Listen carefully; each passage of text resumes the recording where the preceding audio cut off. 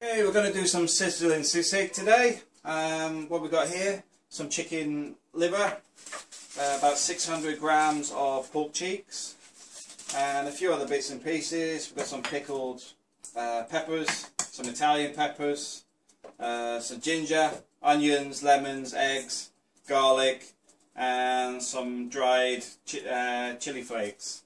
Um, what we need to do first is take the pork, and we'll be boiling that in some bay leaves with salt and pepper. So let's get started. Okay, our pot's now boiling away, so we'll drop our pork in. Be careful, by the way. Just get him in there, make sure he's all covered. And what we'll do is we'll leave him in there for about 40 45 minutes. Okay. Pork's now been um, boiled. It's been left to cool down as well. Boiled it for 45 minutes.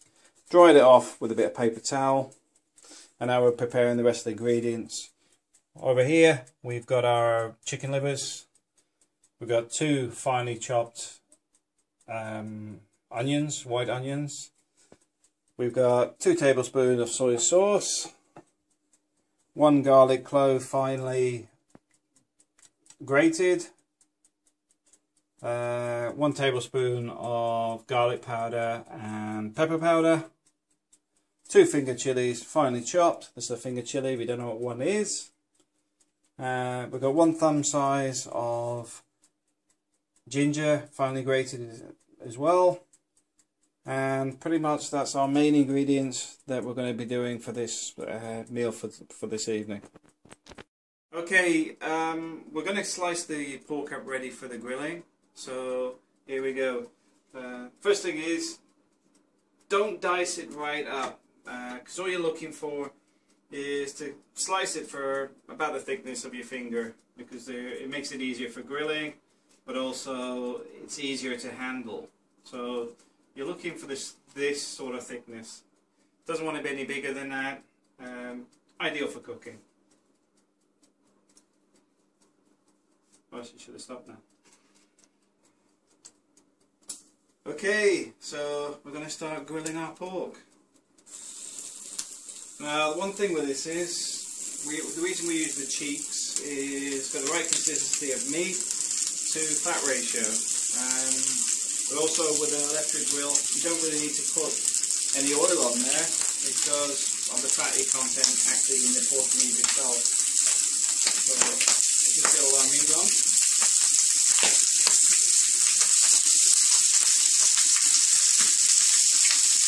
Okay, now it's brown on one side, we're going to flick them all over. Just took about five minutes on the other side.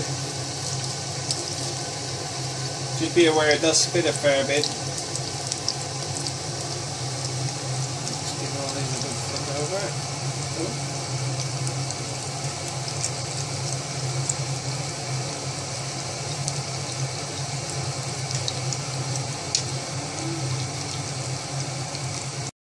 Okay, so pork's pretty much there. We're going to dry it out a bit and let it cool down before we decide to chop him up in a little bit. I'll just get a bit of paper towel and uh, what we've used is a pizza tray just to get rid of some of the fat.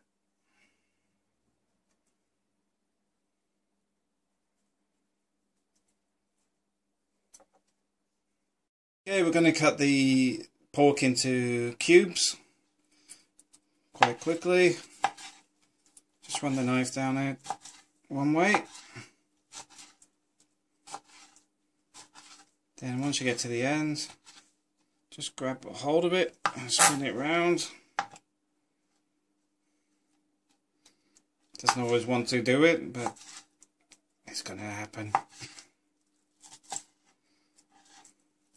Doesn't have to be anything fancy, quite simply because once it's all mixed together, it's the taste test that matters. I hate it. Once you've finished chopping all the pork up, uh, get yourself half a lemon and give it a good squeeze. getting all the as much juice as you can into the meat. Don't worry about it where it's going because it will all be mixed up later. But just get as much lemon in there as you can. Okay. Okay, we'll add a knob of butter.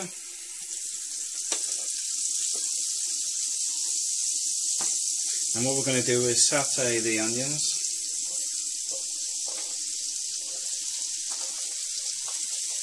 Get them all in there.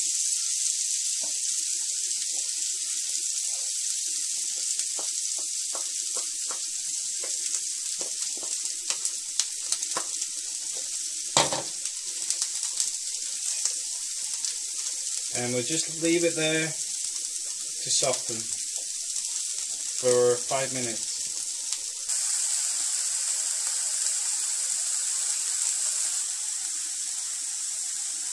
Okay, now we're going to add the garlic and ginger.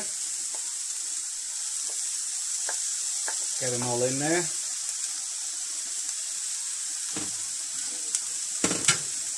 Give them a bit of stir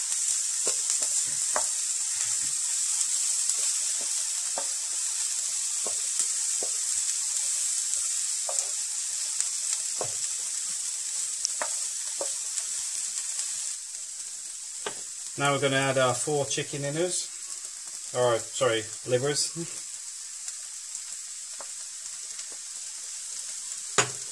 Give them a bit of a stir in. And mash them in with everything else.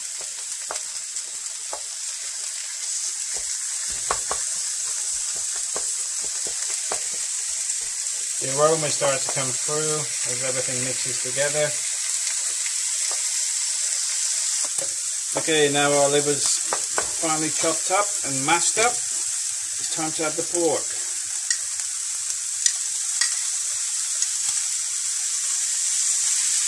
Now we've got all our pork in. Let's grab the soy sauce.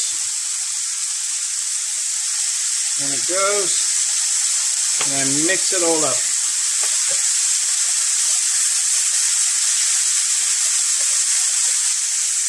Okay, now we're mixing that up. We'll get the garlic powder and pepper in there.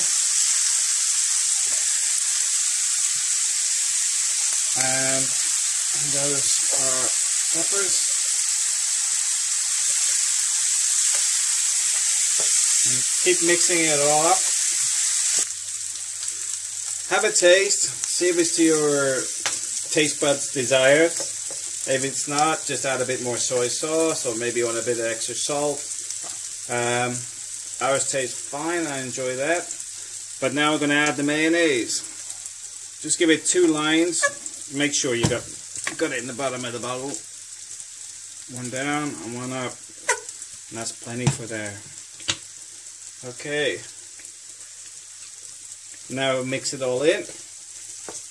It'll help bond everything together. Get this bit done and then we're going to be ready for the eggs. Now we've got it to the flavour we want and it's been cooking for about five minutes now. Whoop, we're going to add the eggs. Uh, try not to drop them on the counter. Whoop. Dropping it didn't do me any favours but managed to get in there without too much yolk. And we'll add the other one, this time without dropping it.